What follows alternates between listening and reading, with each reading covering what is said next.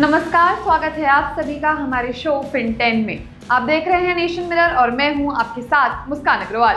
शुरुआत करते हैं फिन टेन की पहली खबर से, जहाँ आज कारोबारी हफ़्ते के चौथे दिन शेयर बाज़ार में मुनाफा वसूली के चलते बाज़ार बढ़त के बाद मामूली उछाल के साथ बंद हुई देखी गई।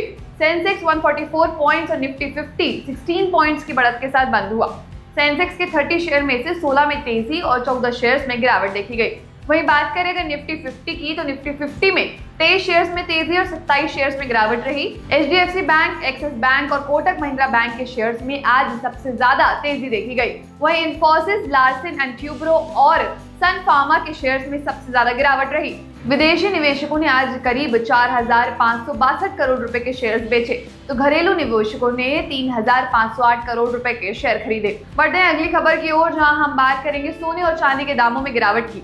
आज फिर सोने और चांदी के दामों में गिरावट देखी गई। 24 कैरेट सोने का भाव 179 रुपीस गिरकर 74,830 रुपीस प्रति 10 ग्राम और चांदी के भाव में साढ़े तीन सौ रुपए गिरकर 88,311 रुपए प्रति किलो रहा। इस त्योहारी मौसम सोने और चांदी के दामों में गिरावट के कारण ज़्यादा बिक्री की संभावना बनती दिख रही है।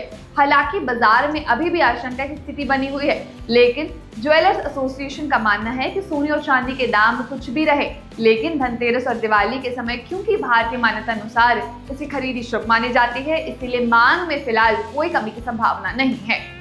फिनटेन में बढ़ते हैं तीसरी खबर की ओर, जहाँ आज पद्म विभूषण श्री रतन टाटा हमारे बीच नहीं रहे। लेकिन वे एक सच्चे विजनरी थे। अपने जीवन काल में उन्होंने करीब 45 स्टार्टअप्स में निवेश किया था। और वो भी तब, जब स्टार्टअप्स आर्थिक तंगी से जूझ रहे थे, तब रतन टाटा ने उनके सपनों पर भरोसा किया और निवेश किया। प्रमुख तौर पर आज उनमें से कई कंपनियाँ यूनिकॉर्न हैं, जैसे Lenskart urban company FirstCry Ola electric Snapdeal आदि। सफलता मिलने के बाद तो कई लोग आ जाते हैं, पर परेशानी में सही सलाह देना, भरोसा और मदद करना ऐसे व्यक्तित्व थे रतन टाटा। बढ़ते हैं अगली खबर की ओर, जहाँ बात करने वाले हैं श्री रतन टाटा के व्यवसायी जीवन के बारे में। श्री रतन टाटा को लोग एक व्यवसायी के रूप में तो जानते ही थे, लेकिन इसके अलावा उन्होंने अपने परोपकार के ज़रिए कई जिंदगियाँ संवारी हैं। देश में कैंसर रिसर्च और ट्रीटमेंट को लेकर उनका योगदान सराहनीय है। इस उद्देश्य में टाटा मेमोरियल कैंसर हॉस्पिटल सर्वोपरि है। श्री रतन टाटा की सपोर्ट के कारण ही आज यह हॉस्पिटल देश कैंसर का इलाज का एक प्रमुख केंद्र है। इसके अलावा टाटा ट्रस्ट ने 2012 में कलकत्ता में टाटा मेडिकल सेंटर चालू किया और 2017 में पब्लिक प्राइवेट पार्टनरशिप स्कीम के तहत असम सरकार के साथ असम कैंसर केयर फाउंडेशन की शुरुआत की। इसके अलावा मुंबई में जानवरों के इलाज के लिए Tata trust small animal hospital की शुरुआत की। बढ़ते हैं पांचवी खबर की ओर, जहाँ बात करेंगे आरबीआई के दिवाली तोहफे के बारे में। आरबीआई ने एक अहम फैसले में कहा कि अब बैंक या एनबीएफसी से लोन लेने वाले ग्राहकों को फ्लोटिंग रेट लोन पर प्री पेमेंट चार्जेस नहीं देने होंगे। यानी वह लोन जिनके ब्याज दर निर्धारित नहीं है और जो आरबीआई द्वारा घोषित रेपो रेट के आधार पर घटते या बढ़ते रहते हैं और अगर किसी ग्राहक ने स्कीम को लोन विकल्प के रूप में चुना है और ग्राहक ईएमआई के अलावा कोई अतिरिक्त राशि इस लोन में प्रिंसिपल अमाउंट में चुकता है तो उस राशि पर कोई भी प्री पेमेंट चार्जेस नहीं चुकाने होंगे। गौरतलब रहे कि अभी कई बैंक और एनबीएफसी ऐसे पेमेंट पर दो से तीन प्रतिशत का प्री पेमेंट चार्ज देती है, क्योंकि इस राशि पर ब्याज की आय का नुकसान होता है। फिनटेन में छठवीं खबर पे हम बात करेंगे, ईरान इसराइल संकट कौन है ज़्यादा ताकतवर? ईरान इसराइल युद्ध ने सारी दुनिया को संकट में डाला हुआ है और भारत, अमेरिका, चीन सहित कई देश इस युद्ध को रोकने की कोशिश कर रहे हैं। लेकिन अगर युद्ध की स्थिति आती है तो दोनों देशों में कौन ज़्यादा ताकतवर है, जानते हैं। ईरान के पास कुल ग्यारह दशमलव अस्सी लाख सैनिक है। वहीं इसराइल के पास छह दशमलव सात शून्य लाख सैनिक है। ईरान के पास फोर्टी टू हज़ार वायु सैनिक है तो इसराइल के पास एटी नाइन थाउज़ेंड वायु सैनिक है। ईरान के पास तीन दशमलव पाँच शून्य लाख थल सैनिक है, वहीं इसराइल के पास पाँच दशमलव दो छह लाख थल सैनिक है। ईरान के पास अठारह हज़ार पाँच सौ नौ सैनिक है तो इसराइल के पास उन्नीस हज़ार पाँच सौ नौ सैनिक है। ईरान के पास 186 लड़ाकू विमान है तो इसराइल के पास 241 लड़ाकू विमान है। ईरान के पास 1996 टैंक है तो इसराइल के पास 1370 टैंक है।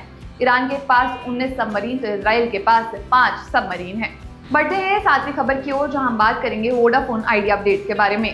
दूरसंचार विभाग ने वोडाफोन आइडिया कंपनी से चार से पाँच साल का रिवाइवल प्लान मांगा है।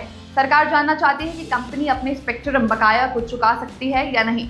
याद रहे कि कंपनी के ऊपर दो दशमलव शून्य नौ लाख करोड़ रुपए का बकाया है, जिसमें से एक दशमलव तीन शून्य लाख करोड़ रुपए तो सिर्फ़ स्पेक्ट्रम बकाया राशि है।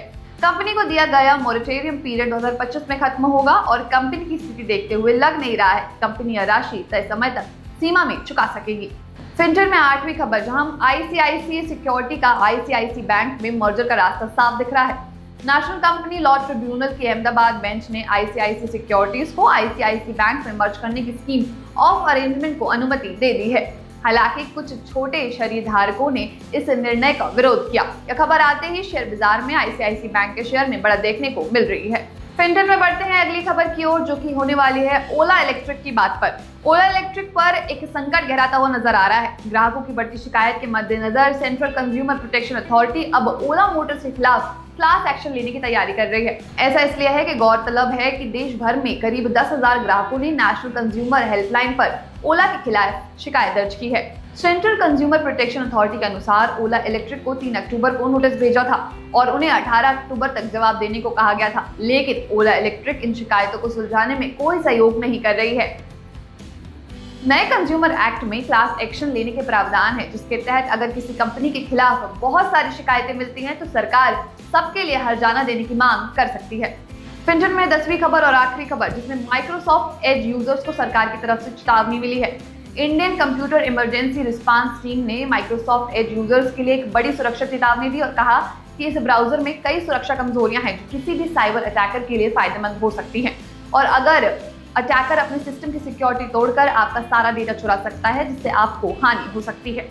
तो आज के लिए Fintain is signing off and always remember safe investing is always happy investing हमारे साथ बने रहिए, देखते रहिए और सुनते रहिए नेशन मिरर को।